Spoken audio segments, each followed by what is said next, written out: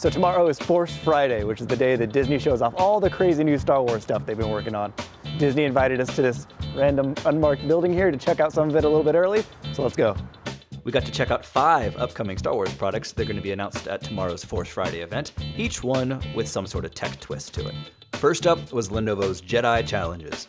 It's an augmented reality game running on the company's new AR headset, Mirage. I strapped on the headset pushed a button on my lightsaber to fire it up, and BAM! I was dueling with Kylo Ren. A faint line indicates where your opponent is about to strike next, and you've got to rush to orient your lightsaber to block it. As you progress, the incoming flurries are going to get faster and more complicated, so the game's going to get harder. Block a few attacks, and it's time to swing, and yeah, yeah, I know my lightsaber stance could use some work. It was one of the better augmented reality experiences I've ever had, and one that I really wanted to spend more time with. When seen through the headset, the lightsaber beam really seems to come out of the hilt of that lightsaber controller. It's just, it's awesome. Jedi Challenges also comes with a playable version of that holo chessboard game you might remember seeing on the Millennium Falcon back in A New Hope, along with an all-new real-time strategy battle game. The kit includes the Mirage AR headset that taps your smartphone as its brain, a tracking beacon that tells the headset where the floor is, and a super slick replica of the lightsaber handed down from Anakin to Luke and now to Rey. It'll cost 200 bucks when it goes on sale in November, which seems a bit steep for what is arguably a few really cool mini games, but hopefully Lenovo builds more on top of this AR platform to make it more worthwhile. Meanwhile, consumer drone maker Propel is re-releasing the X-Wing, TIE Fighter, and Speeder Bike drones they released last year, albeit in higher numbers this time around to make them a little bit easier to find. These things have built-in lasers for drone-to-drone combat with support for up to 24 pilots flying in an area at once. They've also built an all-new app with a practice mode to let you fly a virtual simulation of your drone between real-world sessions.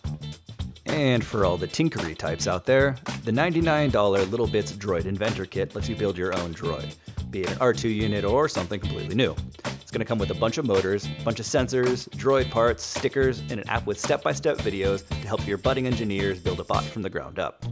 Hasbro is working on an accessory they call the Force Link Band. Strap it on your wrist, pick up a Force Link enabled action figure, and it'll detect which one you're holding and make sounds accordingly.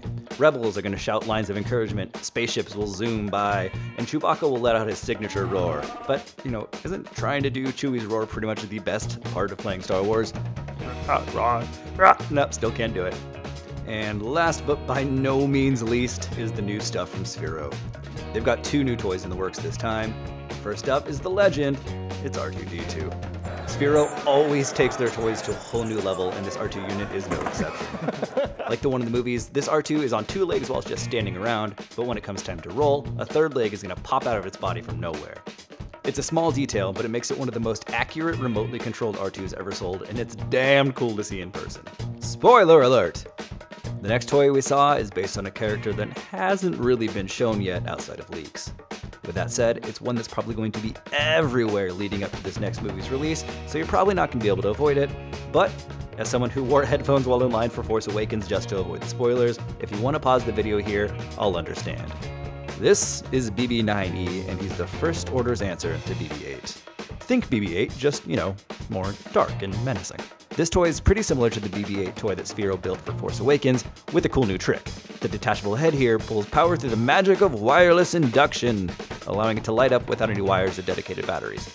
It's going to pull its power right from that main unit as soon as you snap it in place. Both R2 and BB9E can be programmed to roll around your house. They come with pre-programmed animated actions, and as crazy as it seems, can watch the movies with you and react to things on the screen. The good bots are going to bleep and bloop with happiness when the rebels take down an AT-AT.